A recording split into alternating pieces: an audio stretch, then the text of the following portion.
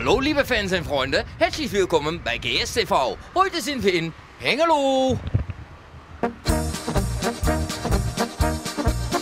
Er was hier een conciërge en die heb je schijnt op YouTube gezien te zijn door bij een filmpje van ons. Dat hij meedeed aan een eh, demonstratie van rechtsextremisten, van neonazies. Die had ik gezien, die had ik gezien. Ik, eh, ja, ik zag hem eh, wel eens lopen, hij zat aan het schoonmaken. Ja, dan lach je hem wel eens uit hè. Op een gegeven moment zag ik hem op YouTube met zo'n kale kop met die hele, met die hele patrouille van hem zo lopen. Ja, geniaal dat ik dat zag. Wat doet u nou op een normale zaterdag als u niet aan het demonstreren bent? Och, ik eh, heb zo mijn eigen hobby's, wandelen. eh, ik hou veel van natuur en eh, tot, rust. U bent een natuurman. Ik denk het wel, ja. Is toch ook leuk, een beetje het human interest verhaal achter de neonatie? Vind je dat hij hier is gediscrimineerd door jullie? Nou, niet door ons, maar er zullen ongetwijfeld wel mensen uh, nazi hebben geroepen. Ja, ik vind het sneu voor hem, maar ja, dat doet hij, eh, doet hij zelf. Hij zat met een filmpje op Dumpert. Wil je even met de camera weggaan?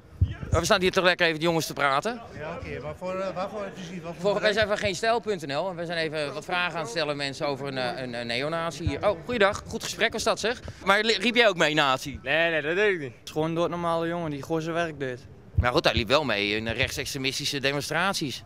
Ja, iedereen heeft zijn hobby's toch? u verzoeken om het terrein te verlaten? Ja, als ik klaar ben met mijn gesprek. Komt er nog een Wie de koep mag. Als u het opneemt, neem ik dat ding in beslag, hè? Dat mag u helemaal niet. Nee, ik mag alles hier. Nee hoor, u mag niks in beslag nemen. U bent niet eens politie, u heeft een veetje, dat zit. La la la la. Tralalala. Maar kent u, eh, kent u hem? Terrein verlaten. Kent u uw collega? Die is gewoon... Anders hou ik u aan. Oh, u gaat me aanhouden. Het wordt steeds gekker hier in Twente. Wat voor kleding? Had u wel eens een snorretje of zo? Of zong u wel eens het Horst Wessel lied? Maar waarom, waarom is die man nou weggepest? Hier, dat vragen we hem eigenlijk af. Heeft verlaten, dan u. Hij blijft weer even met poten van mijn cameraman afblijven. Af van je poten van mijn cameraman afblijven. Wat zeg ik nou? Je blijft met je poten van mijn, van mijn spullen af. Je blijft er vanaf.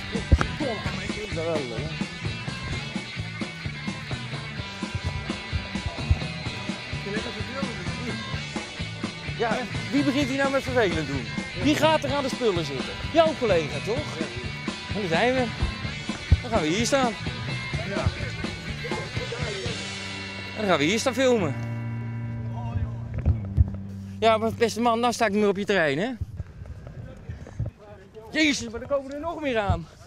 Goeiedag, grap, hè. Hoeveel wil je er meenemen? Hey, als er mensen zijn die ik even mag interviewen, op de openbare weg mag ik jullie gewoon interviewen. Hebben ze niks over je te zeggen. Maar wat was het voor man? Ja, aardig man. Hey, even terecht dat hij weg is gestuurd? Terecht. het is wel terecht. Kijk, je hebt recht op vrijheid van meningsuiting. Maar op het moment als je als neonazi gaat rondlopen, ja, dan dat gaat te ver. Het gaat gewoon te ver. ik heb les. Ik bedoel, Hey, jongens. iedereen, elke mens is toch gelijk? Je hoeft toch die, hij discrimineert- Gelijkwaardig, hè? Ja, gelijkwaardig. Hij is neonazi, dus hij discrimineert allochtonen. En als hij dan op school door allochtonen wordt gepest en gediscrimineerd, omdat hij nazi is, ja, dat is gewoon te verwachten en terecht. Galaxy S3? Ja, moet ik hem even snel wegstoppen? Nee, kom maar. Hier, hier. is nooit tegen ineens hier keihard marsmuziek door de, door, de, door de intercom heen schal of zo. Nee, nee, dat heb ik niet meegemaakt. Dat hij ineens zo heel zo liep, weet je. Nee, nee, nee, nee, Snorretje.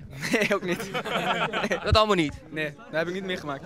Is me dat even een mooie wits? Maak je als journalist een prachtig stukje over een kaalkopje? Blijkt het eigenlijk ook nog gewoon een soort van collega te zijn.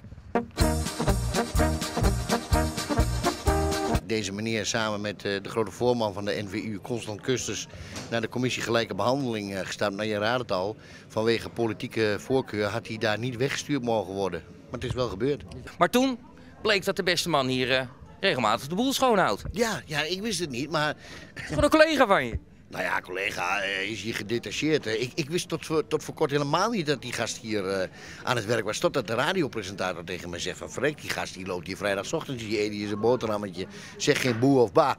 Eh, terwijl hij zeg maar, in zo'n demonstratie wel met zo'n vlag loopt en noem maar op. Is het dan om een nazi als, als collega te hebben of iemand die hier werkt? Is dat niet raar? Wordt hier niet raar naar hem gekeken? Ja, dat denk ik wel. Alleen tot, tot voor kort wist niemand dat hij die sympathieën had. Heb nooit een eh, mijn kamp op tafel liggen tijdens de lunch of zo? Nee, eh, nee, nogmaals, ik was verbaasd. Is het een beetje Deutsche Grundigheid schoon? Ja, denk ik wel. Ja, poeplicht dan. Ja, nou, eh, ik, dat moet je eigenlijk aan, het, aan de hoofdhuishouding vragen. Maar volgens mij is het eh, redelijk schoon, ja. Maar ja, ik, ik ga niet met dat soort gasten eh, in gesprek. Maar ik denk de hele tijd het gaat van Zaubermachen, Zaubermachen, Zaubermachen hier. Nee, hè, ja, nogmaals, hij schijnt heel weinig te zeggen, joh. Wederom ben ik deze week achterlijk vroeg opgestaan. We staan hier nu voor de deur van RTV Oost te posten. Want zometeen gaat hier Gerrit Bruins aan het werk als schoonmaker. We hebben toch nog wel een paar vragen voor hem. Goedemorgen, meneer Bruins. Mag ik u wat vragen?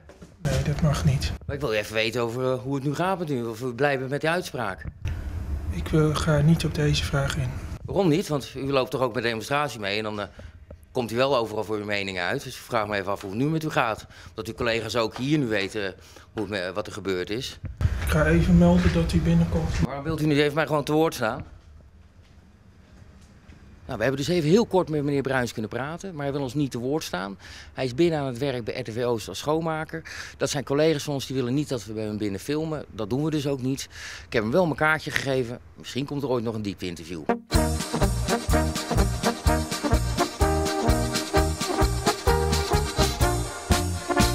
Dag Gerard.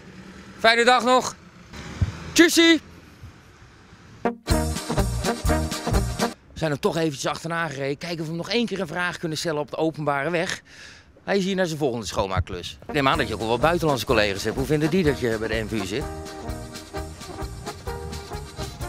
Geef nou toch eens gewoon even antwoord. Waarom loop je wel in grote demonstraties mee met een megafoon? Als de pers komt, dan wil je niks zeggen.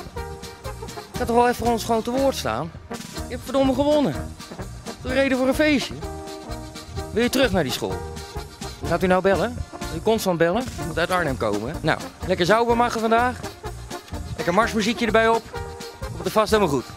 Wanneer zien we weer bij een demonstratie? Met de megafoon, want dan wil je wel praten. Dag meneer Bruins, kringleider van Overijssel.